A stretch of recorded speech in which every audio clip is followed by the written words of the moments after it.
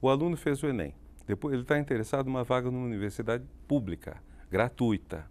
É, então, ele se inscreve num sistema, que é o SISU, que é um sistema unificado de acesso ao ensino superior, e conforme a nota dele e o curso que ele pretenda cursar, ele será, terá alocado uma vaga, evidentemente, se ele se habilitar a isso.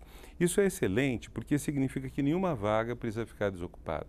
Se houver uma demanda e a pessoa e houver candidatos para uma determinada vaga oferecida, essa vaga será atribuída.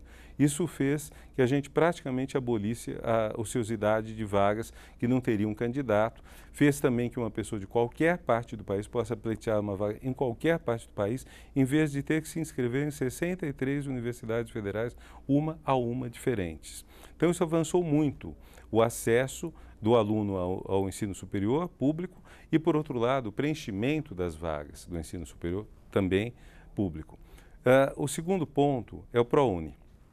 No ProUni, o aluno quer se inscrever numa instituição privada, que, portanto, cobra uma mensalidade, e então o, o, Ministério verifica quais são as instituições, quais são os cursos, etc., e ele oferece bolsas integrais ou parciais para fazer o ProUni.